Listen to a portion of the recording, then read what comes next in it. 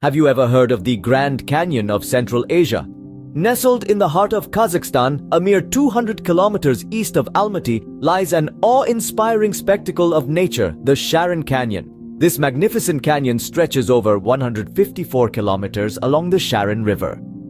It's not just its vastness that captivates the senses, but the vibrant symphony of colors that make up its landscape.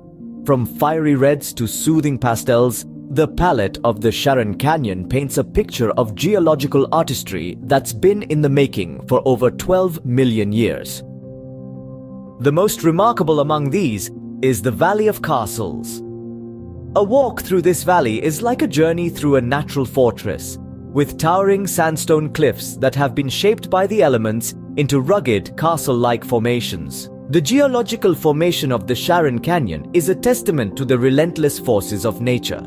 Over the course of millions of years, wind, water and time have carved out the red sandstone, creating a labyrinth of columns, arches and pillars that defy the imagination. Yet, the Charyn Canyon is more than just a geological marvel. It's a sanctuary for a diverse range of flora and fauna. Amidst the rugged cliffs and deep valleys, you'll find the relic forest, an ancient woodland that has withstood the test of time. The Charyn Canyon is not just a place to admire from afar, but to experience up close. The river that runs through it offers a thrilling adventure for whitewater rafting enthusiasts. And for those who prefer a more tranquil pursuit, the river is teeming with fish just waiting to be caught. In recent years, the Charyn Canyon has been gaining recognition as a major tourist destination. Efforts are underway to enhance its facilities and make it more accessible to visitors from all corners of the globe.